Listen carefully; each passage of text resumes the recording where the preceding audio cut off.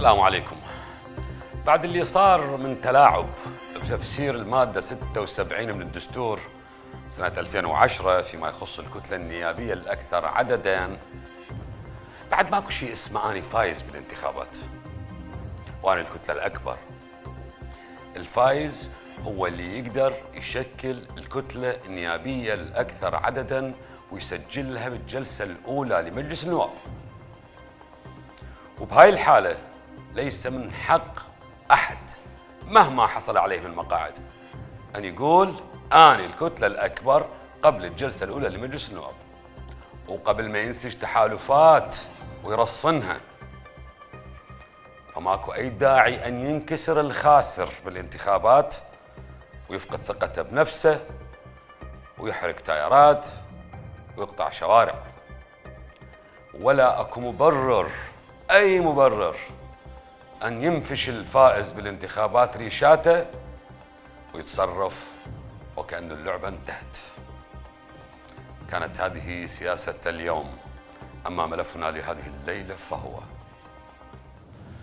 التنسيقية نرفض الانتخابات ونفرض التفاهمات.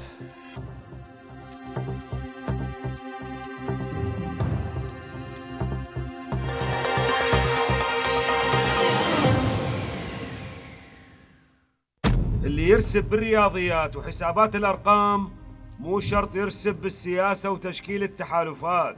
خلاصة مبكرة لما يجري على الساحة الشيعية اللي تشهد استقطاب خطير على خلفية إعلان نتائج الانتخابات وخسارة قوى مهمة أبرزها تحالف الفتح ومن معه. واقع الحال أن المعركة الانتخابية انحسمت شيعيا لصالح الصدريين ولا مجال لتعديل النتيجة. الحكم صفر والمفوضية خصمتها. أوراق الاقتراع الرزمت والطعون ما راح تغير شيء. ولا عزاء للخاسرين. سوى التعاطي بواقعية مع النتائج والقبول بها. وترتيب أوراقهم السياسية اللي مو بالضرورة تكون انعكاس لأوراقهم الانتخابية. صحيح القوى الخاسرة هانت عليها نفسها وما جاي تستوعب وجاي تمر بمرحلة صدمة بس هيك نوع من التفاعل مو صحيح لأنه البكاء ما راح يسوي شيء ولربما يودينا إلى تجلطات بالعملية السياسية لا وحتى بشرايين القوى الخاسرة. آخر المستجدات احتجاجات وقطع طرق في بغداد والمحافظات الجنوبية اعتراضا على النتائج. وهاي الاحتجاجات اجت بعد اجتماعين. الأول صار البارحة ببيت عمار الحكيم وانتهى ببيان حمل المفوضية مسؤولية فشل الاستحقاق الانتخابي وحذر من انعكاسه السلبي على المسار الديمقراطي والوفاق المجتمعي. أما الاجتماع الثاني فعقدته فصائل المقاومة اليوم الظهر وأكدت على نفس المبدأ رفض النتائج والتصعيد. بغض النظر عن شكل التصعيد شلون راح يظهر ووين وش وقت وإلى أي مدى يوصل. لكن هل هذا الخيار صحيح؟ بالتأكيد مو صحيح. ويعكس سوء تقدير للموقف ويوحي بأن الخاسرين اهتزت ثقتهم بنفسهم وينطي انطباع إنهم يفهمون الديمقراطية بطريقة مغلوطة. ويعتقدون أن انخفاض مقاعدهم يعكس ضعفهم لكن من راح يفوقون من الصدمة. راح يشوفون انه فرصة الفتح ودوله القانون والعقد الوطني وقوى الدولة وبابليون والمستقلين المحسوبين على هذا الخندق لا زالت قائمة وبقوة. وإذا حسبناها بدقة فمقاعدهم راح تتجاوز مقاعد التيار الصدري. وكنا نعرف مدى براعة رموز دولة القانون والفتح بعقد التحالفات ويا الكرد والسنة. منين جاي هذا السيناريو؟ جاي من كون التيار الصدري ألزم نفسه بفكرة أحقية الكتلة الأكبر بترشيح رئيس الوزراء وتشكيل الحكومة. على اعتبار هم يمثلون الكتلة الأكبر وبهالمنطق من حق دولة القانون والفتح والآخرين الذهاب بنفس الاتجاه وإلزام الصدريين بما ألزموا به أنفسهم. بمعنى أنه على الخاسرين ترك النشيدين. نشيد البكاء ونشيد السلاح والعودة إلى السياسة. المباراة بعد ما خلصانة. اللي انتهى منها هو الشوط الأول. التيار أخذ 73 جول وباقي شوط المدربين. اللي ممكن يسجل بيه المحور المقابل 80 هدف. وبالنتيجة الشغلة كل سهلة قبل يقولون رحم الله امرئا عرف قدر نفسه. لكن بتحوير بسيط ممكن نقول رحم الله امرئا عرف سر قوته وتعاطى بواقعية مع النتائج واعترف بيها. قلناها ونكررها. مو شرط اللي يخسر بالرياضيات وحسابات المقاعد يخسر بالسياسة وحسابات التحالفات. ممكن يرسب هنا بس ياخذ امتياز هناك. وخذوا العبرة من التاريخ. وما التاريخ عنكم ببعيد؟ بس جيب لي كضها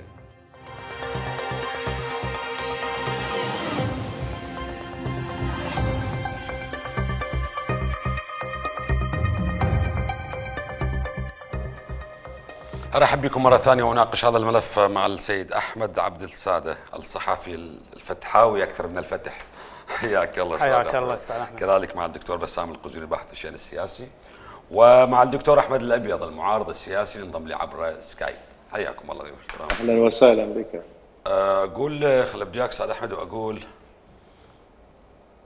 بين الفتح عن ضعف كبير وانكسار كبير أه وبدليل ما حصل اليوم من قطع شوارع بدليل ما أه سمعناه البارح من بيان أه وكأنه فقد التأثير أيضا بالعملية السياسية. ترى ما الأسباب؟ بالبداية تحية لحضرتك وتحية لضيفك الكريمين والمشاهدي قناة UTV. بالحقيقة هو هذا ال- التصرفات أو الإجراءات أو البيانات هذا أستطيع لأن أنا مطلع على بعض التفاصيل خلف الكواليس. هذا غيض من فيض مما سيحدث لاحقا. هسه ال- حاليا الأمور ب- بإطار السلمية. أكو تظاهرات سلمية ضمن إطار القانون ما حرقت مقرات ولا اعتدت على مؤسسات الدولة ولا اقترفت أي شيء ممكن يسيء للقانون. هذا لوين راح يوصل اعتراض الفتح على النتائج؟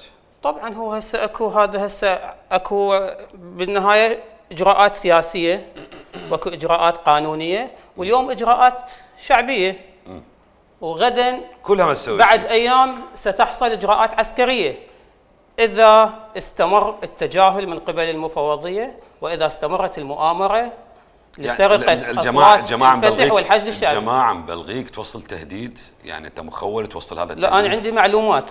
عندك معلومات؟ عندي معلومات بأن هن- إذا استمرت المؤامرة لسرقة أصوات الحشد الشعبي لأن جمهور الفتح هو جمهور الحشد.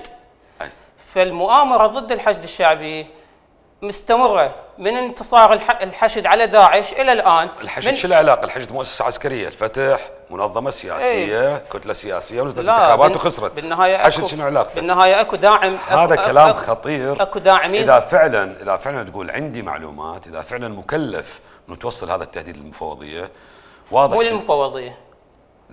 أكو للنظام السياسي؟ لا للي قام بالتزوير المركزي بالإمارات وعندي معلومات دقيقة بأن ممكن بالأيام القادمة يتم استهداف الإمارات عسكريا من من الأراضي العراقية. بشكل واضح طائرات مسيرة وصواريخ ذكية صواريخ بالستية أيضا تنطلق من الأراضي العراقية للإمارات لإيصال رسالة ردع لأصحاب المؤامرة لقائدي المؤامرة. يعني أستاذ بالنهاية أحمد أنت محسوب على الفتح. محسوب أنا ما محسوب على الفتح. أنا أنا محسوب على أنا الفتح صح- أنا على صحفي أنا صحفي مستقل. وهذا خطاب خطير جدا. الآن أنا أوجه لل... لل... للفتح وللحشد رسميا هذا الكلام إذا تتبنوه أو لا. لأن أحمد محسوب عليكم وكل قد وكل ما قد ما يتبنوا بس أنا معلومات عندي يعني. اي وبالنهاية أنا هو مو راح الفتح يقصف مو راح الفتح يقصف ولا راح الحشد يقصف. أكو جهات معينة بالنتيجة راح يقوموا بهذا الدور. بالنتيجة ال- آه، نتائج الانتخابات لن تتغير. الطعون المقدمة ربما آه، يكون تغيير طفيف جدا مو بالمقاعد يجوز بالأصوات. بس الخارطة واضحة الفتح خسر الانتخابات وه- أستاذ- أستاذ هذا أحمد. معناه هذا معناه إنه الفتح ناوي على انقلاب سياسي لا هو. اللي صار انقلاب ضد الفتح وضد آه. الحشد هاي ال- ال- تزوير الانتخابات الحالي هو استكمال للمؤامرة ضد الحشد والانقلاب التدريجي اللي بدأ من تنصيب الكاظمي إلى الآن أكو انقلاب تدريجي ضد الحشد وضد جمهور الحشد وضد الفتح وضد كل, كل القوى الداعمة للحشد الشعبي فالرد دكتور- العسكري اللي راح يصير ضد الإمارات هو جزء من الرد ضد الانقلاب اللي صار؟ الإمارات شو عليها؟ الإمارات هي زورت الانتخابات شلون بالله؟ الامارات هي هي شلون؟ هي بالنهاية وين إثباتاتكم؟ هسه راح أعطيك إثباتات، أولا الامارات هي ملف العراق من تض... من تنصيب الكاظم إلى الآن هي استلمت الملف العراقي. قبل تنصيب ال... وإيران مستلمة الملف قبل من- إيران مستلمة الملف العراقي من لا، 2003 من- لحد الآن. اولا اول الامارات هي وكيلة إسرائيل بالمنطقة ومشروع حل الحشد الشعبي هو مشروع إسرائيلي. جيد. الإمارات جاي تنفذ هذا المشروع. اولا نفذته من خلال تظاهرات تشرين الاعتداء على مقرات الحشد وحرق وهاي الشغلة ما عرفتوها أو- إلا بعد ما انعرضت النتائج أو- وهسه أراجع كل خطاباتكم كل قادة الفتح كل الصحفيين المؤيدين للفتح وللحشد.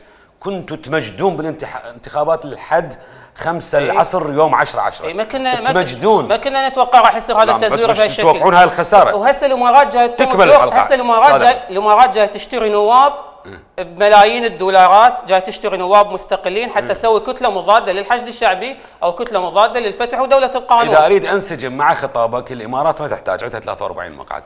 دكتور أحمد إلى أي مدى سيصل الفتح آه، بهذه السياسة سياسة رفض النتائج؟ آه، والى أي مدى ممكن أن آه، تستجيب القوى السياسية للضغوط اللي جاي يمارسها؟ نعم تحياتي لك وضيفيك الكريمين في الاستوديو وجمهورك الكريم أستاذ أحمد. المشكلة الحقيقة باطارين مشكلة اللي إحنا كمعارضة الحقيقة وطنية حقيقية. قلنا النظام السياسي هذا فيه إشكال. البعض يطالب فيه آه، تصحيح مساراته وكذا والبعض يطالب باسقاطه بمفهوم الميليشياوي مفهوم المبتلع الدولة بمفهوم استخدام البندقية لإنجاز حق سياسي. أو لذلك المشكلة الآن ليست آه، الصدر كم حصل الفتح وين صار. أنا بتقديري وحكيت هسه في إحدى البرامج قبل قبلك. قلت ما صار شيء وإنما الفتح كانت ككتله كبيرة متقدمة عندها زعامة اسمها العامري تغير المفهوم الآن صارت تحت ظلال المالكي. وهذا كان قرار إيراني بالمناسبة إذا تذكر جنابك أستاذ أحمد. السيد الخامنئي معنى هذا فايزين بالانتخابات الجماعة مو خسرانين لا شنو هاي ردة الفعل؟ 65 مقعد عندهم عزيزي موجود معنى هذا. معنى هذا فايزين بالانتخابات مو خسرانين. لكن اختلاف اكو قضية مهمة. الكتلة الشيعية اللي انبنت عليها العملية السياسية الواحدة اللي يريدها المرجعية في النجف وتريدها إيران هي هاي المهددة. هاي اللي يتهمون بها الإمارات. تعرف كيف؟ هذا هو أصل الخلاف. يعني غدا إذا السيد الصدر اجى تحالف ويا المالك انتهت القصة. اللي وين يوصل هذا التصعيد. يعني هل هو تهديد جدي؟ يتفقوا. هنا هذا نسمع آه، يوصل الموضوع بدا بدأ اعتراضات سياسية على بيانات على ما أعرف إيش مواقف إلى احتجاجات شعبية إلى سلاح. سمعنا هنا من الاستوديو. نعم لوين نعم. يوصل. أقول لك يا يصير يصير. إذا راح السيد الصدر اسمح مني بالاتجاه اللي أنت تعرفه وأنا أعرفه يتحالف ما مع. التقدم و... أنا أقول لك إياه ال- نعم أكو محور عربي يرغب بأن يتشكل جزء شيعي مهم يستطيع أن يواجه الحشد والميليشيات، طبعا أكو مفهومين خاطئات للأسف يتم تداولهم بالإعلام، أه. أكو حل الحشد وأكو القضاء على الميليشيات. هذه ترى تختلف عن هذه. حل الحشد مثل ما اجى الاحتلال وحل الجيش العراقي. ارجع لي على ارجع لي على المعلومات اللي أقول- عندك الصدر وين رايح قلت لي. إذا الصدر راح وين إذا راح باتجاه محور تقدم بارتي الكردستاني أي بمعنى يهدم البيت الشيعي اللي قامت عليه العملية السياسية سوف يكون في خطر هو وكتلته يعني بغض النظر الكتلة عن الصدر النتيجة. الكتلة الصدرية عدة تفاهمات من الطرفين بس معلومات من البرنامج أقول لك لا الكرد راح أقول لك من- الكرد يعني. الكرد رايحين باتجاه أصدقاء إيران وإيران ستكون نعم. الضامنة لأن- وحتى لأن- وحتى لأن- الحلبوش رايح باتجاه جماعة ايران هل هل هلا اعطيك معلومة ترتاح من هذا أستاذ أحمد. إيه. الضيف اللي وصل البارحة إلى بغداد كرت موكريك اللي هو صديق ومقرب للمالكي وأنت تعرف جنابك. نقل هذه الرسالة. الأمريكان لا يرغبون بتولي الصدر رئاسة الوزراء أو أن يأتي برئيس وزراء. بل بالعكس قالوا نرضى بالمالكي واسمعها مني وسجلها علي ليش ما يطمئن. الفتح؟ ليش ما يطمئن الفتح وعنده يقدر يوصل ل 80 مقعد هو و- ودولة القانون والعقد الوطني؟ لا. يعني هم أكثر مقاعدا ما تخ- من, من الصدر ليش ما ما يروحون. يشكلون كتلة أكبر؟ ليش ما- يردون ما يحرقون. الشارع؟ ليش يهددون بالسلاح؟ إيه، لأنه لأنه أنا أقول لك تم تبديل الزعامات وهذا بقرار إيراني بدلا أن يكون العامري زعيم مع كل محور المقاومة وكذا جاءوا بالمالكي هسه هذا تكتيك إيراني ناجح نعم ناجح يريدون واجهة سياسية تستطيع أن تتصدى للصدر لاحظ كيف؟ يعني مو تتصدى عركه بالشارع تتصدى سياسيا كذا تدري المالكي عنده قدرة يقدر يناور ويجيب ويحط وكذا وراح يسوي هذا الشيء وبدأ يشتغل. وبنفس الوقت المالكي يستخدم هذا الفتات اللي صار تفتيت ماكو الكتل الحشدية والكتل كذا متفتتت أيضا جمعهم أيضا هي عصا بيده. حقهم حقهم تدري ليش؟ هذا التحالف اللي حكيت عنه المحتمل اللي ممكن يصير بين الكرد والتقدم والتيار الصدري بجلسة واحدة يحل هيئة الحشد الشعبي يلغي القانون. نعم. هو بجلسة واحدة. واحدة. يلغي قرار. هو بجلسة واحدة يلغي قرار إخراج القوات الأمريكية. واضح. دكتور بسام القزويني شلون تشوف الصورة؟ تداعيات الأسبوع ال- ال- من الانتخابات اللي جاية شلون تقراها؟ وين رايحين في ظل هذا التصعيد الكبير اللي جاي نسمع نسمع من الفتح؟ اولا شكرا لك أستاذ أحمد. تنسيقية عموما مو الفتح. يعني. حتى الجماعة انضموا لهم يعني حتى الأربع مقاعد مال قوى الدولة انضمت إلى الاطار التنسيقي إطار آه، التنسيقي تنسيقي، إيه. إيه. شكرا أستاذ أحمد. اولا. أنا ليس دكتور وإن كان ذاك يشرفني حقيقة. أه، تحية للاستاذ أحمد الأبيض وأستاذ أحمد عبد السادة أيضا. أنا أعتقد أن ما تفضل به أستاذ أحمد عبد السادة أه، غير صحيح. هذا يؤذي العراق ويؤذي الحشد الشعبي. موضوع الخروج عن الإجراءات القانونية والذهاب إلى إجراءات عسكرية حقيقة هذا تطور خطير وكبير جدا يعني. حقيقة لا اقتضى- إذا بس ما اقتضى- نعرف ما نعرف هذا ما. أستاذ أحد قد يمثل يجوز رسائل تهديد قد لا، يمثل اذا. إذا اقتضى الأمر يعني أنا إذا اقتضى ارى أن الأمر في يعني. أنا أرى في أن النهاية سيكون هنالك هذا هذه الفورة الحالية حاصلة عند الإطار التنسيقي ستنتهي مع مرور الأيام وموضوع التحالف الصدري مع آه، التحالف الكردستاني وتقدم لا أعتقد أو لا اجزم أنه لن يحصل بسبب إن تجزم لن لا- يحصل؟ نعم إلى درجة؟ كبيرة لسبب إن التحالف الكردستاني لديه رؤية سياسية استراتيجية على عكس الحلبوسي الذي هو اعتبره ربما مغامر في العملية السياسية.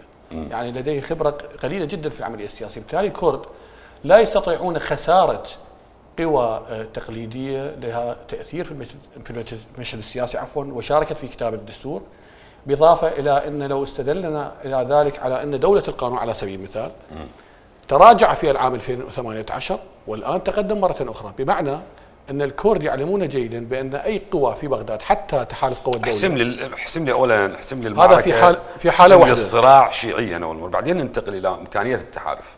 الصراع الشيعي آه، سينتهي إلى تكرار سيناريو عادل عبد المهدي. لا, لا أتوقع أن تعلن الكتلة الأكبر أو الكتلة المعززة بمعنى أن يتفق دولة القانون والصدر دون حتى لقاء ربما المالكي مع مع السيد مقتدى الصدر ولا حتى مع القيادات الأخرى بأن يخرج هنالك رئيس حكومة إذا بعد ساعات أيضاً- مرة أخرى ليش نشوف هذا التصعيد الكبير من الفتح؟ بالتأكيد الفتح يحاول الدفاع عن نفسه أمام جماهيره اولا. ثانيا التراجع الكبير الذي لم يكن يتوقعه والصدمة الكبيرة كما تفضلتم والتي أعتقد أن جزءا كبير منها هو انتقال آه، جزء من آه، جماهير الفتح إلى دولة القانون. دولة الق... أعتقد أن جماهير الفتح ترى في السيد المالكي هو أفضل من السيد العامري في قيادة الفصائل المسلحة خصوصا وأن آه، نوع سكلجة أو السكلوجيه في الفصائل المسلحة في عموم العالم ترى وليس ترى في الجمهورين. مختلفين تماما جمهور لا. القانون مو جمهور أنا- مو أنا- جمهور الفصائل جمهور مختلف لا تماما عزز جمهور دولة القانون عزز في جمهور آه، الأيام الفصائل. وجمهور الفتح ما ينطل غير الفتح كلا. لكن ممكن ممكن نتفق إنه أستاذ أحمد جزء من جمهور لا لا ممكن نتفق مالكي ممكن. نتفق إنه كانت آه، إدارة سيئة للانتخابات من قبل الفتح. كان أكو تنافس كان أكو نزول لأكثر من مرشح في دائرة واحدة كان أكو تشتيت للأصوات وكان أكو شعبية واضحة جدا إنها تراجعت كثيرا بعد الأداء اللي عليه كثير ملاحظات من الفتح وال- والفصائل. خلينا نحكي بصراحة موقف المالكي الحازم ضد التيار الصدري هو اللي جاب له هذا الجمهور الحشدي. جزء من جمهور الحشد اللي انتخب المالكي مكافأة له على موقفه الثابت ضد التيار الصدري وضد السيد مقتدى الصدر. لأن أكو هنا استقطابات شيعية أكو خنادق شيعية. كل كارهي السيد الصدر انتخبوا المالكي. كل المختلفين وأعداء التيار الصدري انتخبوا المالكي.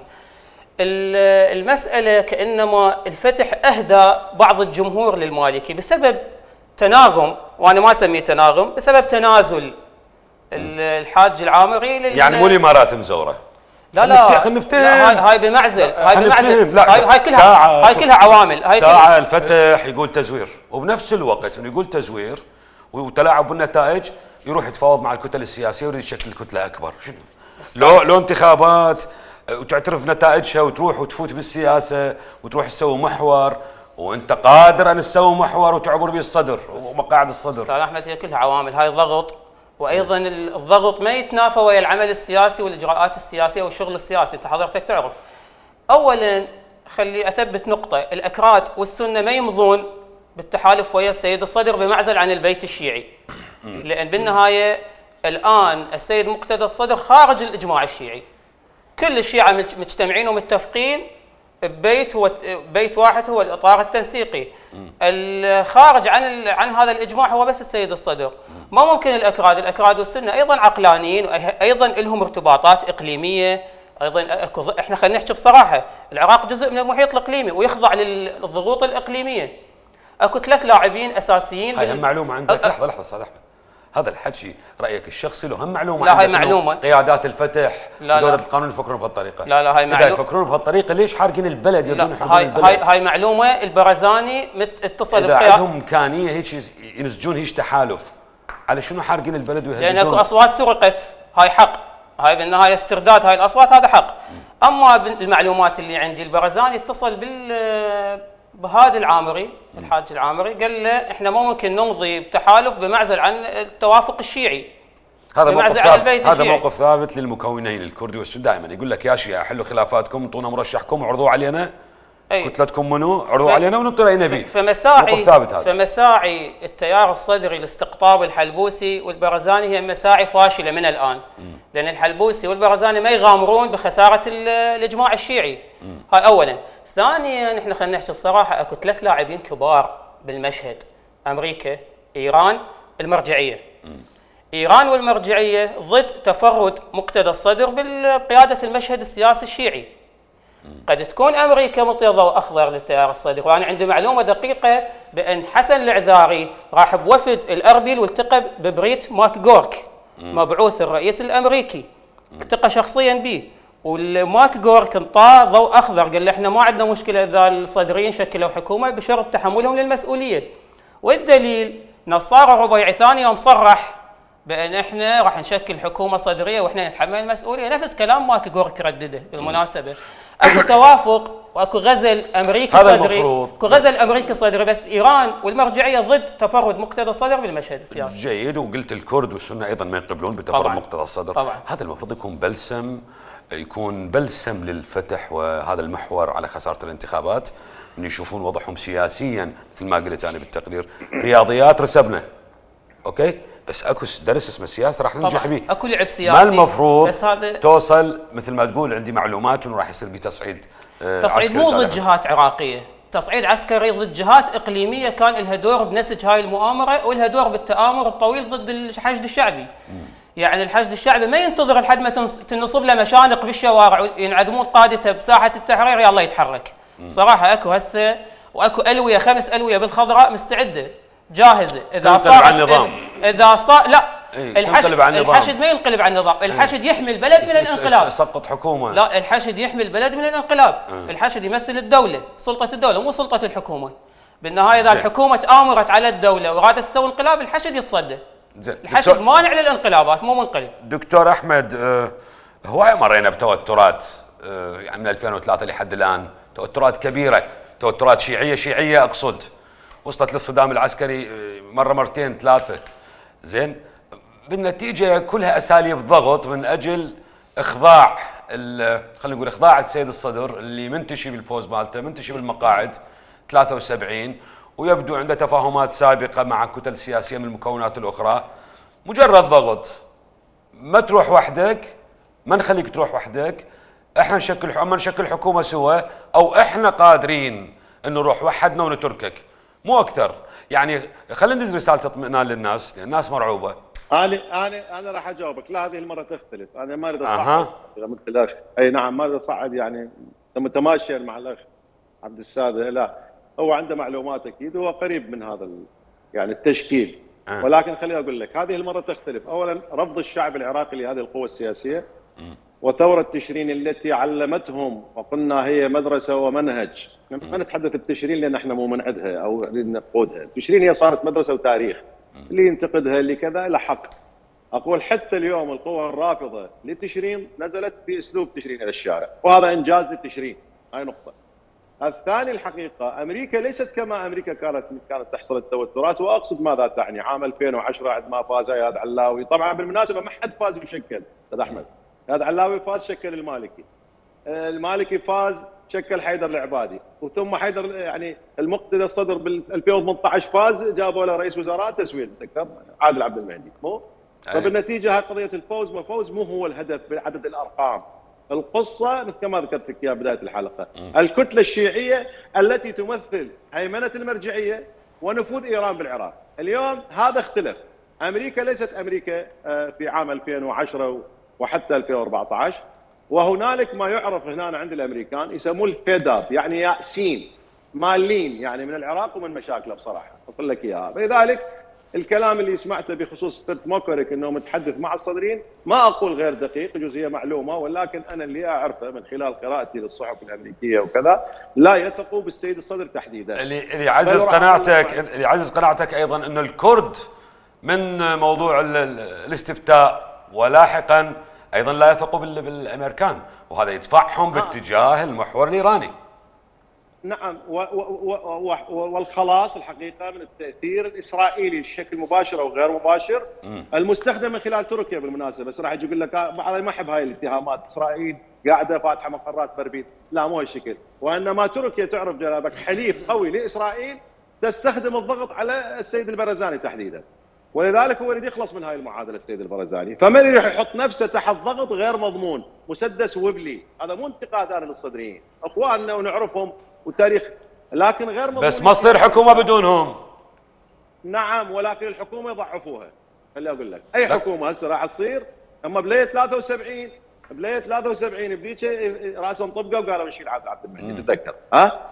وأقول أي حكومة راح تصير في ظل كتلتهم الأكثر عددا الآن الفائزة يعني.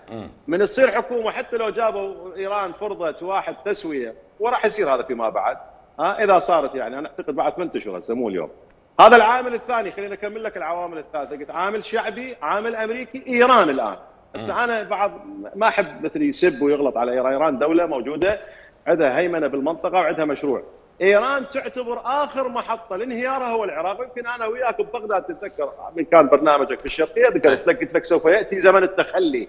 سوف يأتي. البعض عباله نحكي عن يوم وشهر. الآن إيران عارضة الصفقة بالشكل الآتي. اسمعها من مني أستاذ أحمد. الصفقة بالشكل الآتي. نعم. جماعتنا حلفائنا من الميليشيات والحشد وغيره خسرتوهم راح أقبل. الايراني عقلية سياسية مو مثلنا ردة فعل. راح أقبل.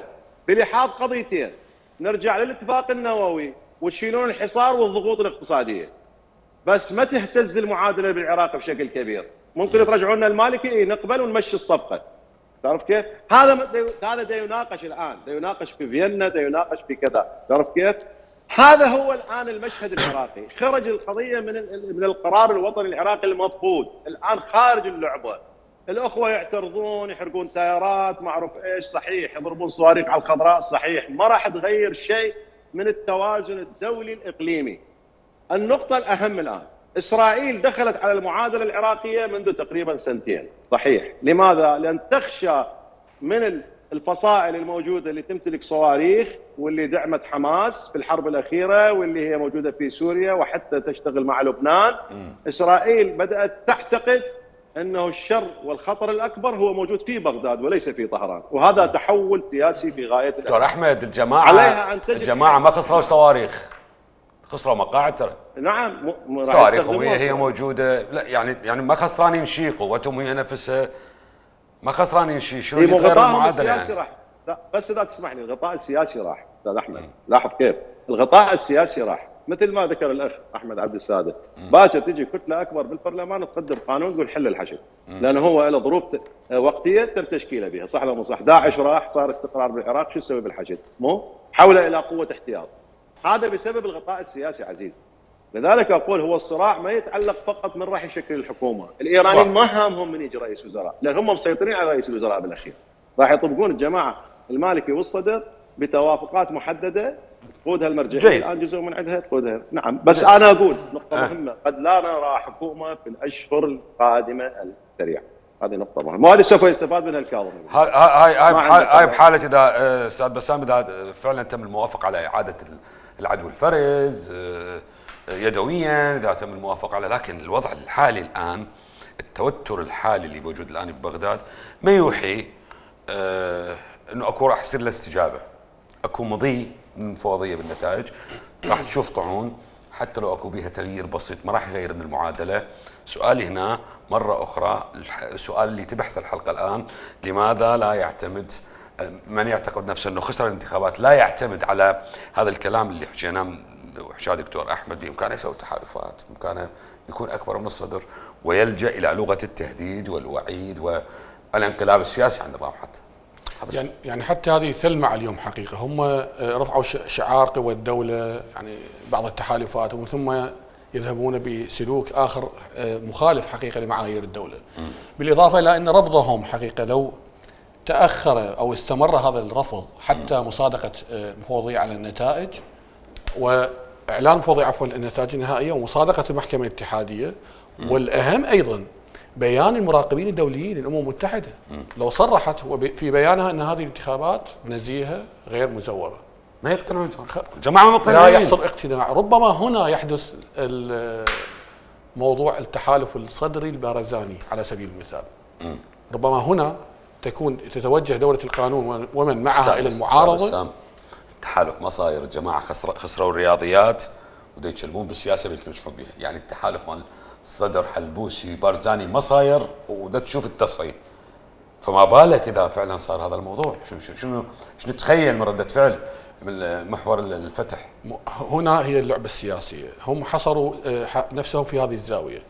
وإن أصروا على ذلك يعني عليهم أن يقبلوا بالواقع أن يقبلوا بالنتائج وأن يذهبوا في موضوع تشكيل الكتلة الأكبر الحوارات مع جميع القوى. خاصة وأن موضوع كما تطرق أستاذ أحمد أن موضوع إيران آه، أصبحت تعاني من بعض الملفات. فعلا موضوع حدودها مع أفغانستان مع أذربيجان مع كردستان بدأت باستهداف أربيل بوجود معارضة إيرانية هناك وبالإضافة إلى صواريخ الكاتوشا والطائرات المسيرة اللي تطلق منها. هذا الضغط ربما جاء في آه، توقيت هو قبيل الانتخابات ببضعة شهور وتضاعف هذا إلى حد كبير على كردستان. وأعتقد أن هذه إحدى مراحل الضغط حقيقة للعودة للتحالفات التقليدية. حتى كردستان لا تخرج عن التحالفات التقليديه وبالتالي أنا لا أعتقد ربما أختلف مع الأستاذ أحمد هنا أن يوجد تزوير في المشكلة. لا لا ليش إحنا؟ نتحدث ليش نتحدث. وإحنا مأمنين من ردة فعل مقتدى الصدر وجمهوره و73 مقعد بالته يعني افرض نجح الفتح مثلا في بناء فتح ودولة القانون نجحوا في بناء آه، التنسيقية كلها حتى وياهم التنسيقية الشيعة ما عدا الصدر نجحوا ببناء تحالف مع ال- السنة والكرد ليش نغفل ردة فعل الصدر وتياره إذا إذا ما كان جزء من هذه الصفقة. بالإضافة إلى القوى المستقلة الجديدة التي هي عاكسه للحركات تحديدا التشريعية. تحديدا الصدر وجمهوره الصدر ومقاعده لا, لا هو لا يمكن أن يذهب الصدر إلى معارضة. لأن الذهاب إلى معارضة الصدر لديه الآن قوة سياسية في السلطة التشريعية. وأيضا لديه هنالك سلاح وإن كان مجمد في بعض الأحيان أو مسيطر عليه من قبله الا هناك سلاح أيضا في الجانب الآخر. بالتالي موضوع الذهاب دولة القانون ومعه إلى المعارضة وإن كانت مستبعدة لكن هو الاحتمال الأقرب من ذهاب الصدر إلى المعارضة. يعني لو وص- وصل الطرفين إلى موضوع عدم الاتفاق بدرجة كبيرة يعني دولة القانون ومنعها ربما هو الذي يذهب قال إلى لك ما راح نقبل بها قال لك ما راح نقبل ما راح يقبلون بها. لا عليهم ان يقبلون يعني النتائج تخيل طيب. خسروا انتخابات. طيب لو كان- يحاولون يعدلون ما يسموه التلاعب بالانتخابات وما راح يصير. بعدين إنه حتى حكومة يخسرون. لا السلطه التنفيذيه ولا السلطة ال- ال- التشريعية. يعني ردة الفعل شو راح تصير؟ أستاذ أحمد يعني ما يقلق القوى الأخرى الإقليمية الرافضه لوجود الفصائل المسلحة أو الحشد على سبيل المثال إن كانت تدخلت في تزوير الانتخابات كيف تقدم المالكي بهذه الأصوات؟ لماذا لم يزوروا موضوع أصوات دولة القانون؟ اذا هذا التزوير حقيقة لا أعتقد دقيق يعني هذا الموضوع هنالك جمهور من الحشد ذهب إلى دولة القانون ومنهم من تقاعس لسياسات ربما قادة الفصائل في إذا كل هاي. الضغوط يا أستاذ أحمد كل هاي الضغوط يس- يستخدموها الجماعة على الأقل تعويض الخسائر اللي صارت بالانتخابات. والله هم مقتنعين إن الانتخابات كلش نزيهة مقتنعين إن الانتخابات ما صار بها تلاعب بداخلهم لحد آخر لحظة مثل ما قلت لك قبل شوية. مقتنعين جدا ما صار بها تلاعب كلها ضغوطات من أجل إبرام صفقات التحالفات وتشكيل الحكومة. زين هسه هو حتى يتم قطع الشك باليقين يصير فرز وعد يدوي شامل أي. لكل الصناديق. هاي أول شيء. ثاني شيء قلق الفتح وقلق الشيعة باستثناء الصدر. قلق كل المكون الشيعي باستثناء الصدر. هو قلقهم بسبب خطاب الصدر غير المطمئن. يعني الصدر بخطابه الأول قال أنا راح أحل الميليشيات وطبعا الميليشيات يقصد بها فصائل المقاومة. لا يقصد ميليشيات ال- الصد الصدر ببيانات وبتغريدات مباشرة. قال آني أريد ادمج الحشد مع دمج الحشد حضرتك تعرف ودمج الحشد يعني الحشد يتحول إلى جيش وشرطة يعني نحل الحشد.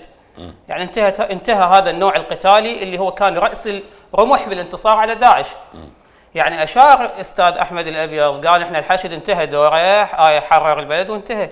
الحشد مو عماله نطلعهم من المسطر ونقول لهم يسوون يسوون لنا شغل ونقول لهم مع السلامة. هذا نوع قتالي متميز وفريد من نوعه. وحقق الانتصار على داعش. زين هذا بكل دول العالم وبكل التجارب. التجارب العسكرية الناجحة المقاتلين العس... الناجحين دول يخلوهم نخبة القوات المسلحة. شو إحنا بس بالعراق نمشي عكس التيار. بس بالعراق النخبة القتالية اللي حققت وكانت رأس الرمح بالانتصار على داعش نطالب بحلها ودمجها. هذا نوع قتالي أنا لو بيدي أدمج الجيش والشرطة بالحشد الشعبي. أي. لأن هذا دائما التجارب الفاشلة تلحق بالتجارب الناجحة مو العكس. الحشد تجربة ناجحة. هسه دا نريد بدون قسوة على الجيش العراقي الجيش العراقي بسبب الإشراف الأمريكي جيد. والإدارة الأمريكية والتسليح إذا- إذا- الأمريكي إذا الصدر انهزم أمام داعش انهزم إذا- أمام داعش. إذا الحشد الشعبي هو اعاده إذا التوازن. الصدر انطاكم ضمان ضمانات. طبعا ضمانات كافية. ترضيكم إنه لا أنا ما راح أندق بالحشد ولا راح احل الحشد ولا راح أدمجه. يعني هو لازم هذا يتطلب تغير خطاب. يعني الصدر لحد البارحة هو منزل تغريدة يقول أنا أمشي الدولة بالقصقوصه يعني سواء اللي تابعين له هسه التابعين له من حقه يمشيهم بالقصقوصه من حقه يسجنهم بالحنانة أكو سجون سجون انفرادية بالحنانة سجن بها مثلا بهاء الأعرجي وغيره. هاي من حقه. هاي من حقه مو قانونيا لأن هم اتباعه مقتنعين بهاي العقوبات. هم مقتنعين مستسلمين لهذا الشيء. بس هو من يقول أنا أمشي الدولة بالقصقوصه وأمشي اللي يفسد واللي يقصر امشيه بالقصقوصه هاي ما عاد ما عادت أكو دولة آه، ولا عاد أكو قضاء. صارت دكتاتوريه صدرية وصار السيد مقتدى الصدر يريد يعلن نفسه هو ال- السيد الولي الفقيه. بزوده بزوده غير شلون؟ غير أكو قانون؟ غير الناس انتخبته. الناس انتخبته ما يمثل الشيعة كلهم هو. يعني قال لك هو مثل الشيعة بس. قال لك أنا بدي اشكل حكومة من حقي. يعني هسه هو حصل على عدد مقاعد أكبر.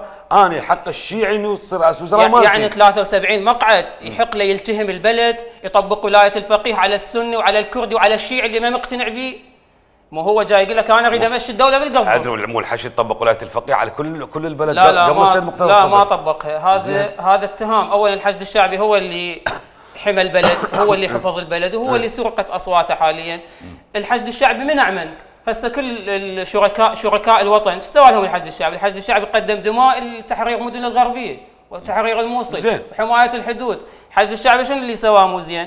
شو هذا قدم أكثر من 10000 شهيد على حمايه العراق عموما ما فرق بين مسيحي وبين كردي وبين سني. دكتور أحمد غالبا آه، عندما نتحدث عن الخشية من صدام شيعي شيعي نقول لا والله أكو نواظم مهمة أكو المرجعية أكو إيران.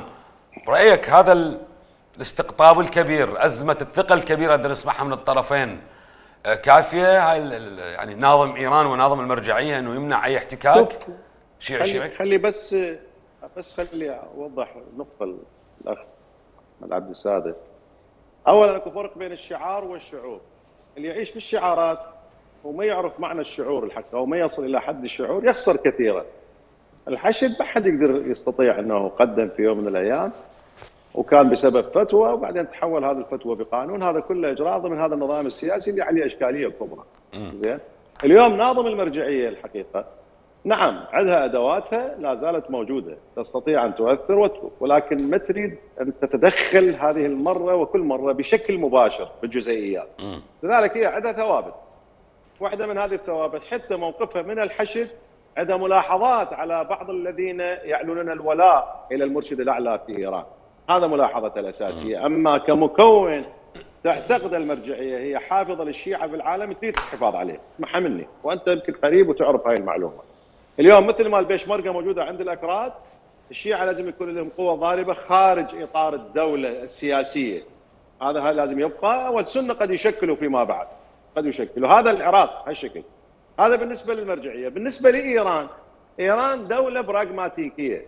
تريد تريد أن تتفاوض على ال maximum pressure الضغط اللي وضع عليه ترامب وراح. ولكن لما وجود الضغط حتى رغم إنه بايدن صاحبهم على اساسه واجى بس ما تغير بالعكس زاد. تريد أن تتخلص. شنو الصفقة المطلوبة؟ اولا دول الخليج تحديدا السعودية والإمارات وإسرائيل. من طرف آخر تريد طمأنة إنه هذه الفصائل اللي عندها صواريخ ما تكون مهددة كما الحوثي مثلا يهدد السعودية ويهدد الإمارات.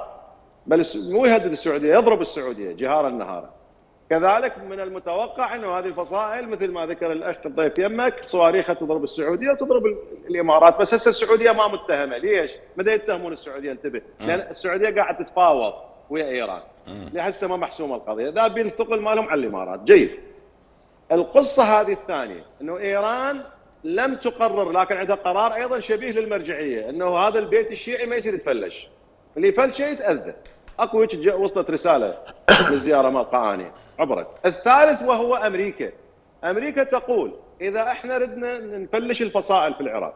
ها؟ طبعا الأمريكان أيضا عندهم موقف من الحشد مو سلبي اللي وياي لكن عندهم موقف من الميليشيات اللي تقتل وتخطف مو بس بغداد وكذا والجرائم اللي سووها بحق تشرين.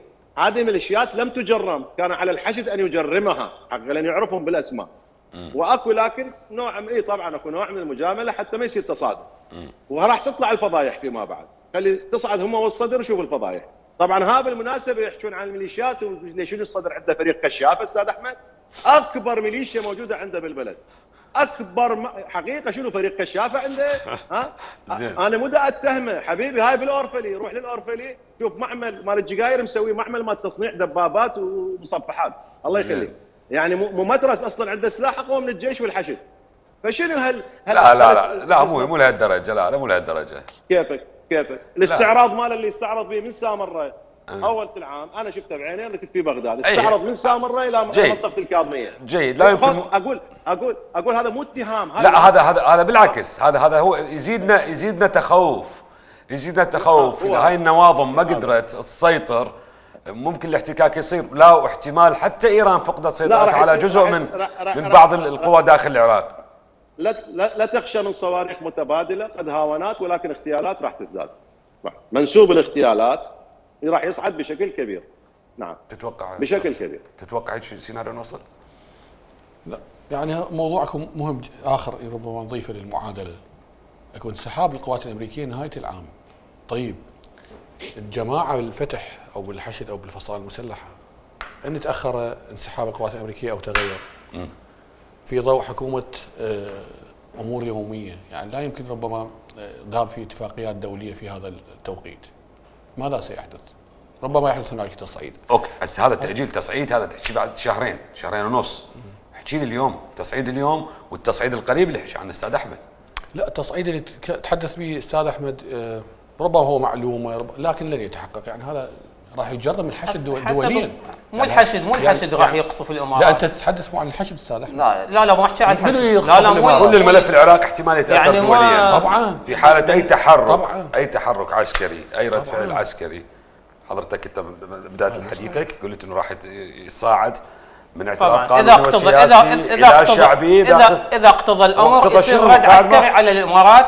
بس مو الحشد اللي لا لا هو هذا هو إذا اقتضى. شنو اذا اقتضى يعني يعني شنو شنو الموضوع هو؟ هو وين الأدلة الموجودة مقاعد 16 يعني اذا إذا استمرت المؤامرة مؤامرة مقاعد الفتح ما سرقة راح يصير- الأصوات مقاعد الفتح. ما راح يصير 16 وربع 16 وربع ما راح يصير اذا الأمور متجهة للتأزيم زين. يعني لا هذا سؤالي لا مو- موضوع هذا سؤالي إذا فعلا أصر ال- الفتح وهاي القوى الخاسرة بالانتخابات على هذا الموقف لا. وأصر الصدر على أن الفائز الأول وأنا لي حق تشكيل الحكومة.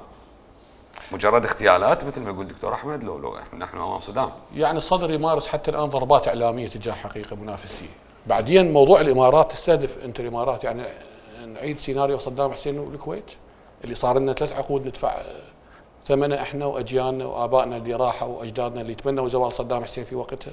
يعني هذا موضوع حقيقة. يعني تضربون أنا عندي سؤال. لا لا سؤال اخذ الإمارات شلون زورت الانتخابات؟ شنو الدليل؟ شنو الأدلة؟ شلون؟ يعني هي المت... المتنبي يقول وليس يصح في الأفهام شيء إذا احتاج النهار إلى دليل. إيه. يعني هسه هي الإمارات دورها معروف. أو يعني ب- شلون زورت الانتخابات؟ السير... جاوبني. السيرفرات موجودة بالإمارات. إيه. والإمارات دورها أصلا هي والسعودية طبعا مو السعودية مو بمعزل زين. هي السيرفرات في الإمارات. الفتح حصل على 47 مقعد في انتخابات 2018 والسيرفرات كانت بالإمارات، هل معناها أنه الإمارات صح. 47 مقعد في عام 2018؟ لا راح هو طبعا هاي الانتخابات ال 2018 هم صار بها تزوير بس مو بهذا المستوى وحضرتك تتذكر جولة ماك جورك هو مساعد السبهان على الكتل السياسية الشيعية والسنية والكردية وتتذكر اجتماع فندق بابل اللي برعاية ماك جورك راد يشكل الكتلة الأكبر وفشل هو من من ذيك بدأت المؤامرة ضد الحشد الشعبي. كان الهدف إقصاء تحالف الفتح الآن في وإقصاء طور أستاذ القانون أحمد. لتشكيل كتلة أكبر ضد الحشد الشعبي لحله في البرلمان. فشلت آه، مساعي ماك جورك اسمح- فشلت. هسه جاي يعيدوها من جديد يعني. أنتم الآن في طور الصدمة. بالمناسبة لا صحفيين أصدقاء لهذا المحور ولا حتى سياسي هذا المحور لا بل قادة هذا المحور في صدمة كبيرة. ما أن يهدأوا راح يشوفون إنه وضعهم ما تغير. هوايه. كبيرهم كبيرهم أبو سراع عنده 35 مقعد. عندكم محوركم يعبر مقتضى الصدر. الج- فليش تخوفونه وتردون تحرقون البلد؟ ليش؟ روحوا اشتغلوا يعني سياسه قبل وت... يعني هي بالنهاية هو شغل أستاذ احمد الشغل السياسي مستمر. شلون دكتور أحمد؟ بس عفوا نقطتين بس نقطتين مهمة. بما تفضل. يتعلق بتزوير الانتخابات عفوا آه. ولو قاطعت الاخ بما. يتعلق بتزوير الانتخابات لا يتعلق بقضية ال server. القصة ما أنا رجل متخصص في هذا المجال وباللج... يعني بالرياضيات اللوغاريتمات ممكن تلعب بهاي القضية فقط في الأجهزة. يعني مو بال... مو مو بالعصا الذاكرة يعني مو تبعثها بال stick لل satellite ما ما, ما لها علاقة. القصة صارت في مراكز الانتخابات. عليهم التحقق مثل ما أمريكا صار لها سنة من انتهت الانتخابات. تدري يعني تعرف العدو الفردي لحد الآن مستمر بامريكا على انتخابات 2020 واكو أكو قضايا مرفوعة كبرى الآن دكتور أحمد دكتور يحق- دكتور احمد دكتور أحمد يعني. دكتور أحمد 12 ألف محطة تقدر تأخذها كعينة تنفتحها بسرعة، إيه. وعدها يدويا وكن نتائجها الشريط مع الصندوق مع الأوراق يدويا انحسبت مو مطابقة 100% 12 ألف. إيه، يعني يصير وصلت ل تاخذ- 20% من الصناديق. ما يصير ما يصير أنا أقول ما يصير تاخذ randomly check ما يصير اي ما يصير. أنا إذا شاك بواحد صندوق واحد لازم أفتح الكل. هاي حقيقة لا الانتخابات لا قانون في كل تنفيذا. لقانون الانتخابات. هسه قانون نعم، الانتخابات قال القانون يقول. 5% بس عمليا الصناديق اللي انفتحت وصلت لل 20% لا. وتم مطابقتها مو- وبإشراف. ومراقبة كل القوى السياسية. وطلعت مطابقة 100% مو- البشرية أقول مو صحيح. والأوراق اللي بالصندوق. بس تسمح لي حبيبي القانون يقول 5% هو عنده 3681 أستاذ أحمد. هذه أصلا كان بيها إشكالية لأجهزة تعطلت. هسه ما أقول أقول تزوير. اكو خلل فني. زين. فأنت عندك هاي النسبة عابرها. فكيف يطمئن الفريق؟ أنت تريد تسوي مشكلة مو أنا أقصد أنت وأني. وهذه بعض الأطراف تسعى لها الحقيقة. تريد تخلق مشكلة كبيرة أزمة. نعم تعرف كيف؟ هاي واحدة. اثنين بما يتعلق بقانون بقرار مجلس الأمن اللي كثير يتجاوزوه اللي هو 2 5 6 7 6 أستاذ أحمد. أي. في نص واضح. بطلب من الحكومة العراقية لاحظ. الحكومة هي اللي طلبت رادت رقابة دولية وأنت ذاك الوقت أعتقد كنت قريب من الحكومة من من دزت الطلب الحكومة إلى مجلس الأمن أستاذ أحمد. طلبت الحكومة من مجلس الأمن إرسال مراقبين مو مشرفين. أي بمعنى ذولا لهم حق يسوون تقرير report. هذا ال report راح يعرض بعد شهرين على جلسة بعد مجلس شهر. الأمن. بعد شهر. بعد شهر. خلي شهر. يعني على نعم. الأمين على الأمين العام للأمم المتحدة أن يقدم تقريره لمجلس الأمن خلال 30 يوم من يوم الاقتراع. بالضبط وشهرين للاتحاد الأوروبي حتى أكون وياك. وشهرين للاتحاد الأوروبي. أي. شرعيتين للانتخابات أستاذ أحمد. أي معادلة دولية. شوف أمريكا شلون لازم القبله بالأخير؟ القبله وين راح تصير؟ بيد أمريكا هنا بنيويورك تعرف كيف؟ إذا ما جت تبهاها الانتخابات هاي الانتخابات عليها إشكالية.